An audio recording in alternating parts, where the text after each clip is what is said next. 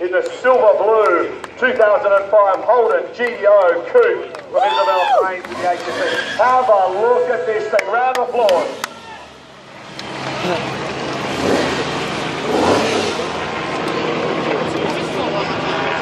What an awesome, awesome car. As Bill hops out, give him a big round of applause, ladies and gentlemen. What a stunning car.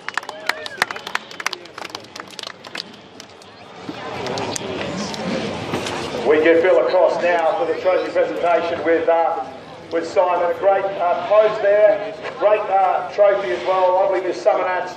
And uh, Chick, I think you'll agree, a stunning car.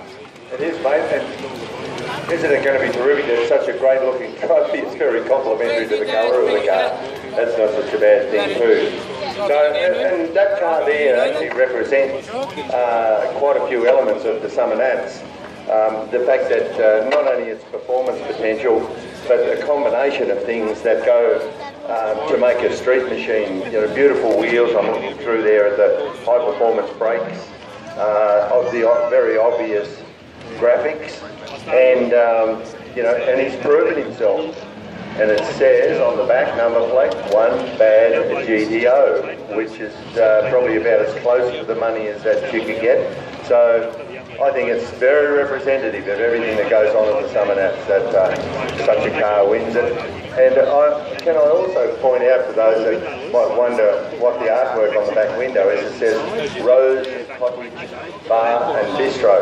Yeah, that's uh, actually uh, an iconic place here in the Canberra region to, to especially to go and have a cool drink. And this is not a paid announcement. This is just telling you that living in Canberra is a lot of fun, and Rose Cottage Inn is a great place to hang out and have a drink. So very, very worthy winner, winner, Jason. I think it uh, ticks the boxes in every way. All right, there we go. The best overall street.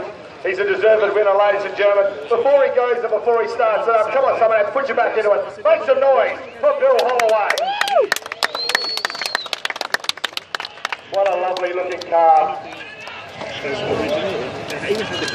Beautiful looking car. Stunning, stunning car. Yeah, go on, give it a squeal.